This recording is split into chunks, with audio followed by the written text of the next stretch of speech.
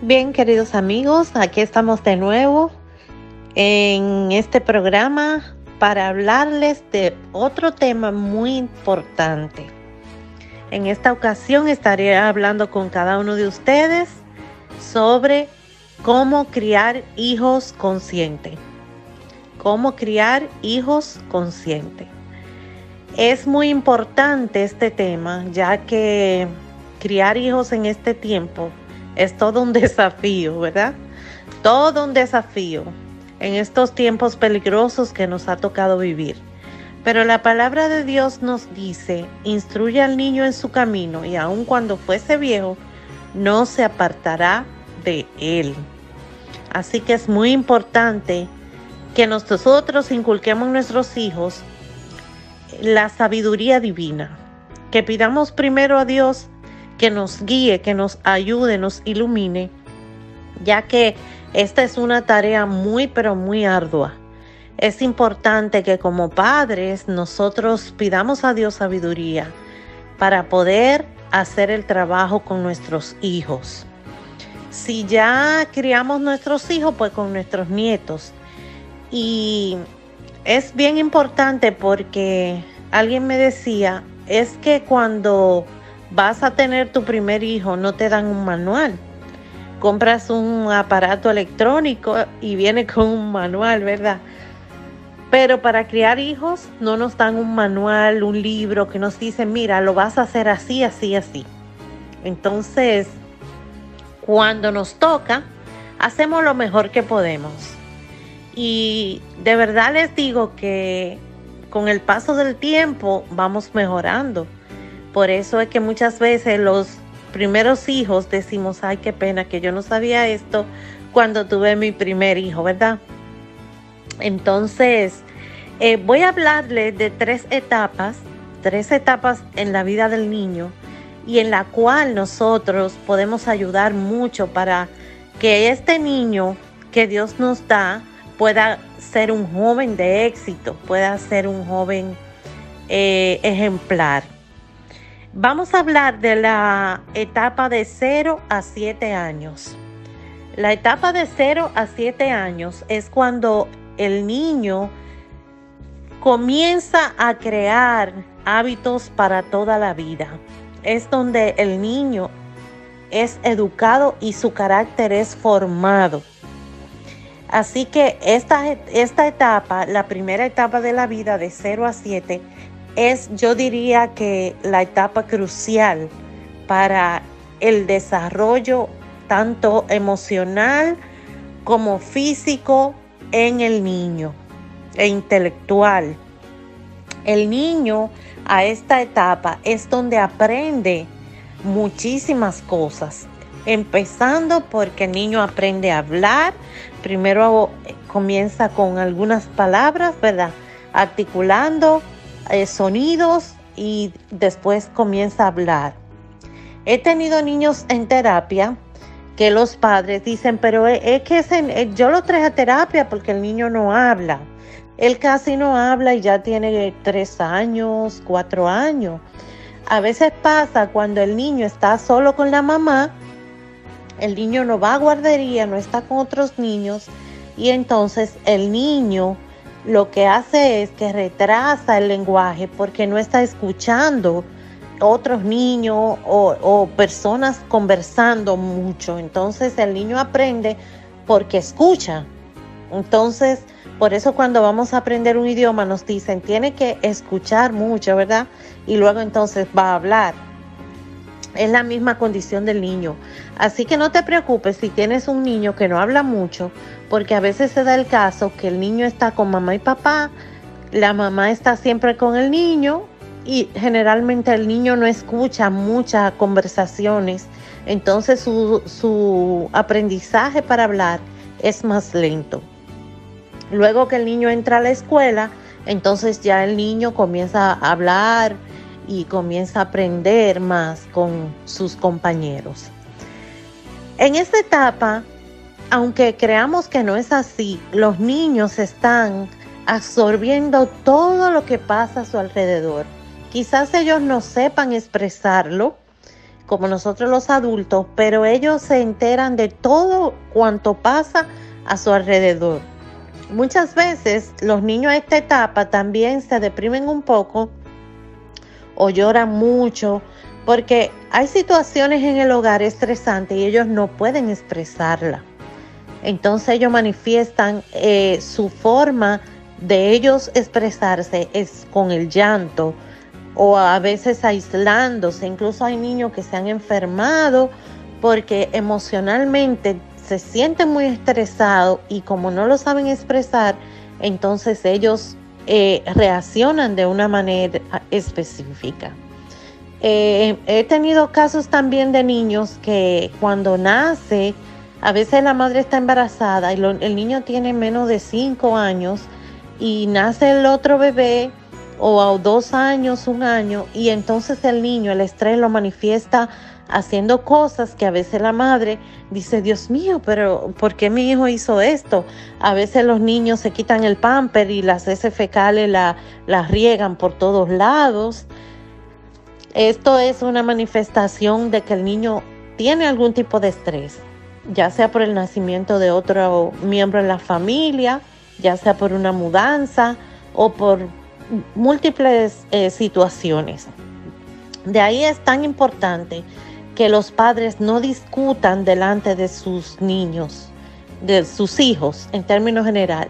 Pero a veces pensamos, bueno, pero es que está tan pequeño y se nos olvida incluso que están ahí.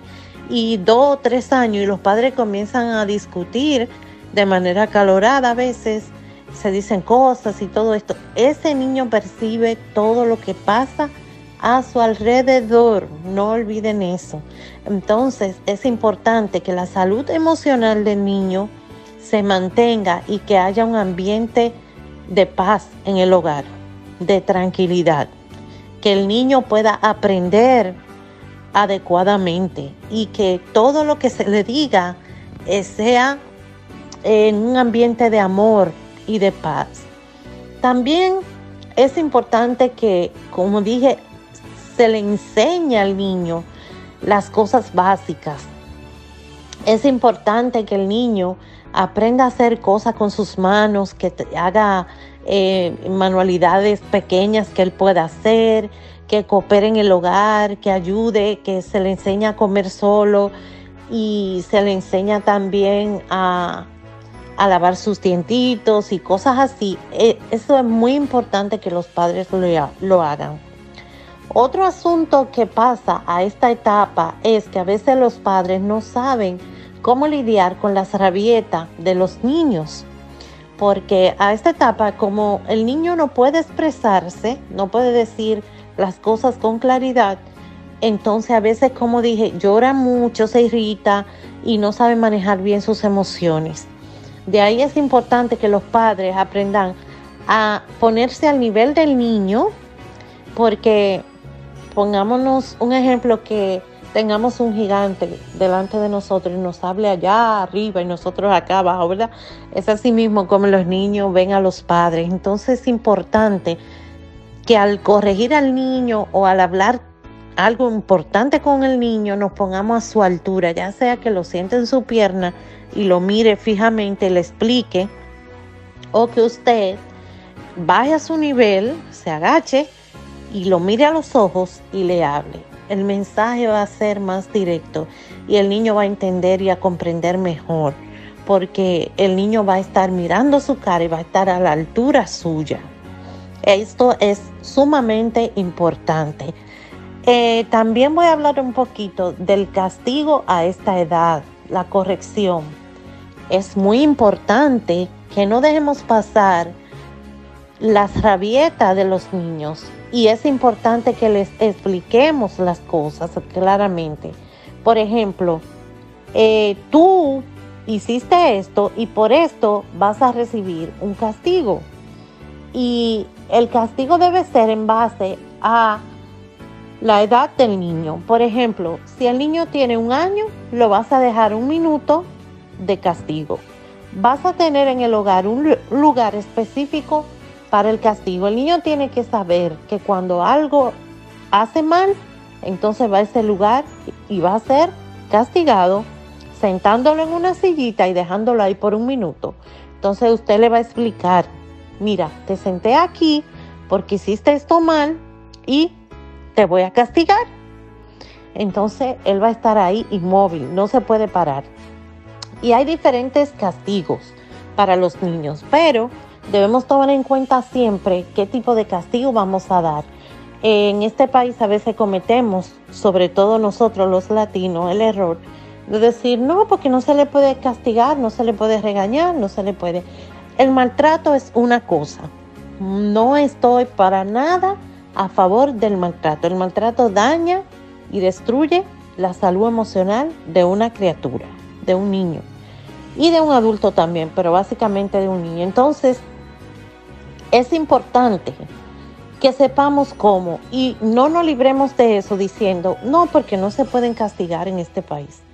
Porque usted es que va a lidiar con un niño rebelde después. Si usted en esa etapa temprana, usted no aprende a cómo manejar esa situación.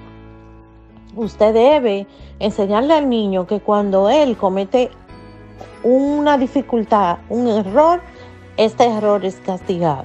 Que cuando él se porta bien tiene una recompensa, pero que cuando hace algo mal tiene un castigo. Y así vamos subiendo el castigo dependiendo de la edad del niño. Cinco años, cinco minutos. Siete años, siete minutos. Ya después que están más adultitos, ya el castigo cambia. Entonces ya no vas a jugar, no vas a salir afuera, no vas a hacer esto, pero debe ser corregido, ¿verdad? Eh, yo recuerdo que cuando mi niño más pequeño estaba bien, tenía como tres años, eh, yo le hacía todo en la iglesia, lo sentaba a mi lado y tenía que permanecer ahí, y, pero yo le expliqué, yo le explicaba mirándole a los ojos, mira, vamos a estar una hora eh, dentro del en el culto, después que salía de su escuela bíblica de niños, y tú debes estar ahí tranquilo, ¿ok? Tú vas a estar tranquilo. Ya yo te di merienda, ya tú estás bien, entonces vamos a durar una hora. No puedes hacer ruido porque estamos en la casa de Dios. Y yo, gracias a Dios, no tuve nunca ningún problema con esos niños porque yo le explicaba, los sentaba a mi lado y ahí permanecían en el culto todo el tiempo sentado. No le lleve juguete a los niños a la iglesia. Eh, no importa la iglesia que usted asista, no le lleve juguete. El niño debe entender que ese lugar es un lugar sagrado y que él debe estar tranquilo ahí. Y los niños saben demasiado, los niños saben mucho. Eh, los padres debemos tener mucho cuidado porque los niños saben mucho, tienen mucha capacidad que nosotros subestimamos muchas veces.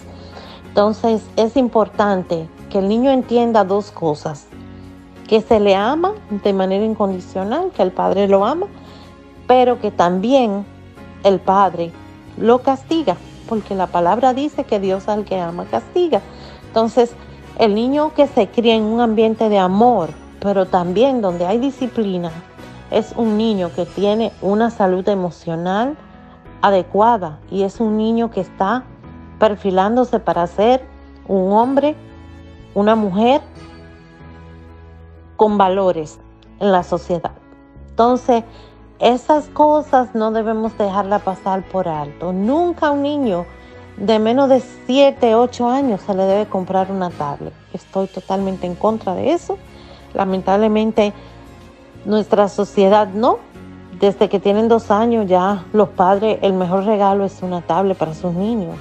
Cuando no le prestan el celular, y es un orgullo decir que el niño maneja el celular, que el niño... Esas cosas le hacen daño al cerebro de su hijo, porque eh, su, su capacidad, incluso su visión, no está todavía apta para ellos pasar muchas veces una hora frente a una pantalla.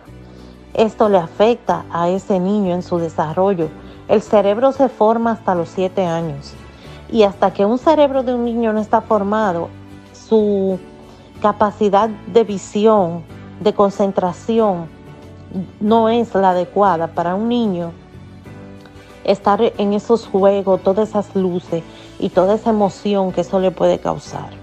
Así que eh, por favor consideren eso porque eso está haciendo mucho, mucho daño con la atención, la concentración, la vista y el cerebro de los niños. Así que después de ocho años creo que ya el niño puede tener cierto acceso a los aparatos electrónicos. Eh, ya saltando un poco a la segunda etapa que viene siendo de 7 a 12 años, ya va entrando en la preadolescencia. En esta etapa ya el niño tiene su cerebro desarrollado, muchas veces a los 7, 6, 7 años comienza a ir ya a la escuela y ya el niño comienza en una etapa de desarrollo intelectual. Ya el niño está aprendiendo otras cosas que no es solamente hablar, comer solo, asearse solo y cosas básicas. Ya el niño comienza una etapa diferente donde ya empieza a relacionarse con otros niños, donde ya comienza a interactuar, donde ya comienza a aprender muchas cosas en la escuela. Entonces, ahí comienza el padre. El papel del padre también es apoyar al niño y sobre todo ahora enseñarle al niño a manejar sus emociones. Esto es muy importante, enseñarle que sentir no es malo, sentir cierta frustración no es malo, es una emoción y que es pasajera y que debe aprender a manejarla. Cuando tiene enojo, no tira las cosas, sino mira, tienes derecho a enojarte. Sí, todos nos enojamos. No es malo enojarse. Lo malo es actuar cuando estás enojado, porque eso puede traer consecuencias de castigo. Entonces, te controla, respira profundo, te disipa y entonces todo va a estar mucho mejor. Es muy importante enseñarle la tristeza, la alegría, que manejen todas sus emociones de manera sana. Es muy importante que el niño aprenda a sentir, a sentir pena cuando hay que sentir pena, a sentir tristeza cuando un pajarito se muere. Oh sí, qué pena. Esta situación que estamos viviendo hoy día, en donde están bombardeando a los niños con los juegos, con los videojuegos violentos y todas esas cosas hacen que los sentimientos de los niños se hayan, se estén aplanando, que el niño no, no tenga dolor en su corazón cuando pasa algo, andan como un poco zombie porque no, tú le dices algo y se quedan como que no sienten ni padecen. Entonces eso es una situación muy, pero muy terrible, porque el niño tiene, la persona tiene que desarrollar ese sentimiento por los otros cuando algo pasa, la pena. Tienen que sentir pena, así como sienten alegría. Eh, si podemos observar hoy día las, las personas, los jóvenes, los niños, andan como aplanados con los sentimientos y eso me preocupa enormemente porque la sociedad los ha llevado a un nivel en donde nada es nada. Y es muy importante dejarles saber que sí, que existen eh, que uno debe sentir esas cosas para poder desarrollarse eh, de manera adecuada en un ambiente. Eh, inculcar a los niños los buenos modales, por ejemplo, gracias, por favor, permiso, cuando llegan a un lugar saludar, todas esas cosas parecieran ambiguas porque hoy día hablo de esto porque creo que la familia de Dios y las personas sabias las han mantenido.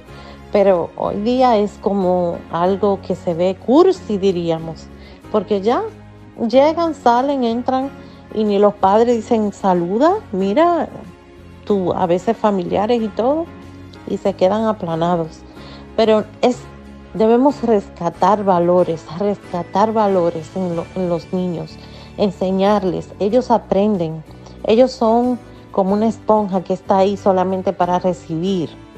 Otra cosa muy importante que los padres debemos hacer es predicar con el ejemplo. Predicar con el ejemplo. Si usted no quiere que su niña sea obesa, no le compre comida rápida. No le dé cantidad de comida. Limite la cantidad de, alimentos que la niña va a comer o el niño. Eh, tenga cuidado en, en usted hace un atracón delante de ellos y después decirle, no, tú solo te vas a comer este pedacito, porque tú estás a dieta, pero yo entonces me como todo lo que aparezca. Ah, tú no puedes comer dulces, pero yo me como todo el dulce que aparece. No. Prediquemos con ejemplo.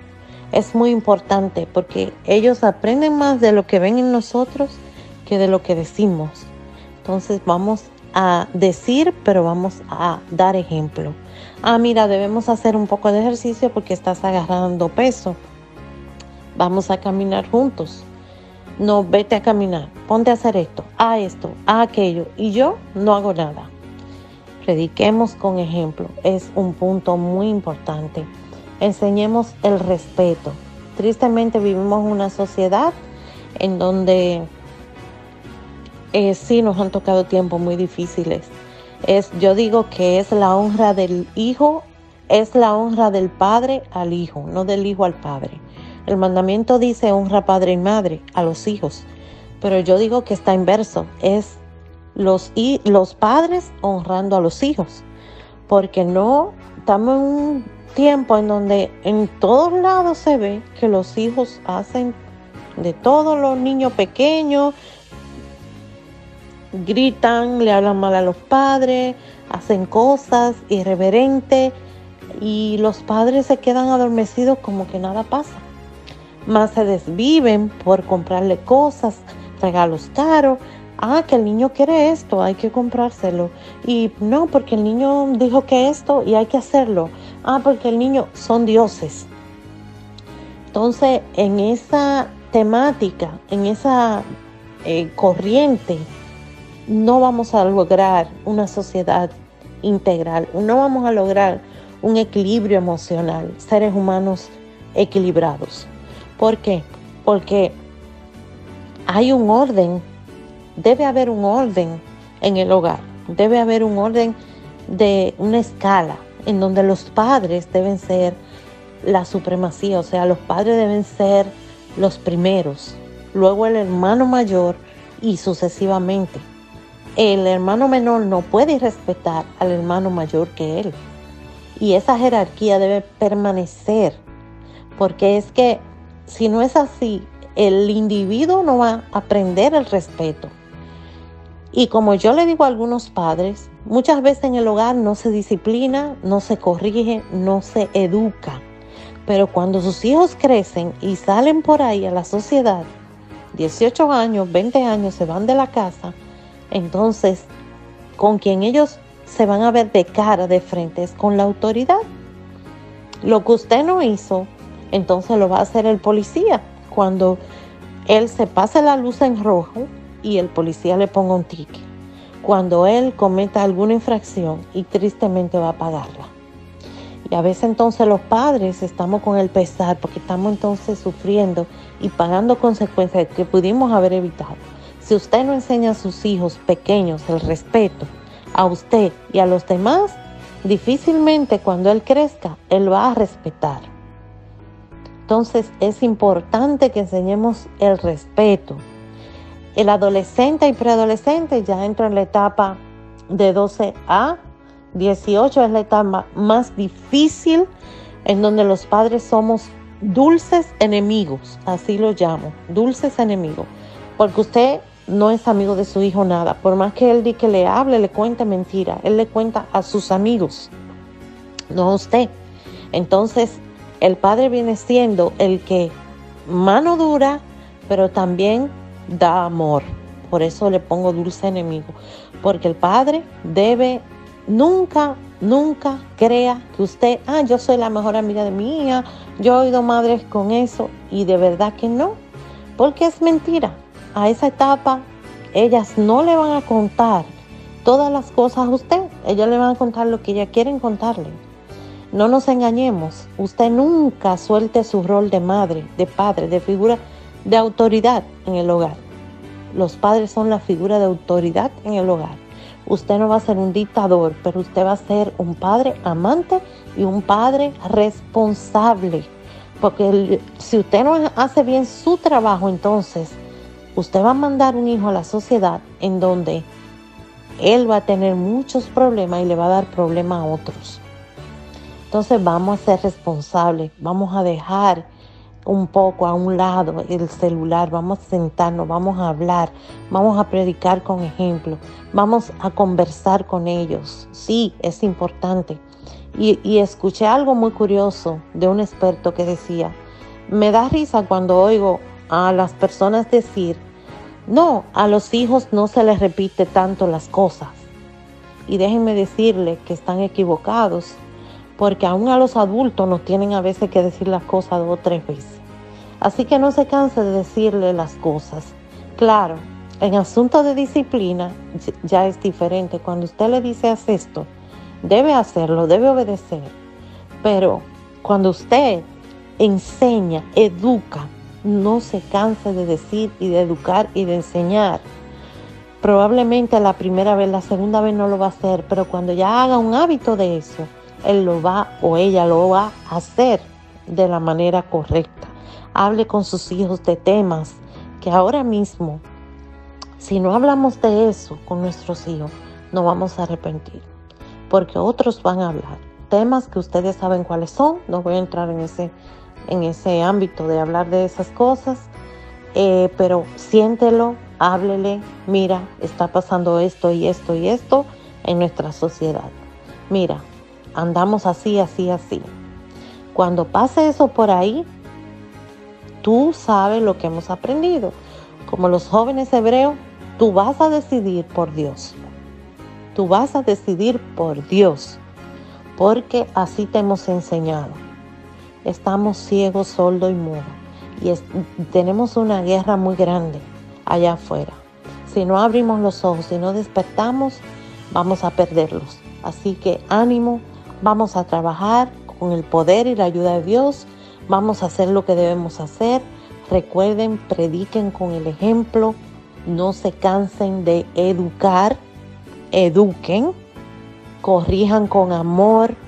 Y recuerden que a esta etapa los niños, los jóvenes, son como jabón. Usted moja una, una barra de jabón, la coloca en su mano y no la puede apretar mucho. ¿Por qué? Porque se le va a ir. Pero si suelta la mano y la abre, también se le va a ir. Flexibilidad, equilibrio. La palabra de Dios dice, si alguno está falto de sabiduría, pídala a Dios quien la da abundantemente y sin reproche. Así que otra cosa que le puedo decir que funciona en este asunto de criar hijos es orar. Oren, madres, oraciones intercesoras por sus hijos, no importa la edad que tengan, en donde estén, oren siempre por sus hijos, porque Dios escucha las oraciones de las madres y de los padres. Dios escucha las oraciones. No importa dónde esté tu hijo, ora, ora, todo el tiempo, ora. Y Dios va a orar. Que Dios les bendiga grandemente. Soy su amiga y hermana Nancy Sedano, psicóloga clínica y experta en terapia breve. Así que hasta luego. Siempre les voy a recordar, mi número de teléfono es 302-898-92 08. Cualquier pregunta, consulta, pueden llamarme y mi correo electrónico es j o s e l y n arroba hotmail.com. Jocelyn236 arroba hotmail.com.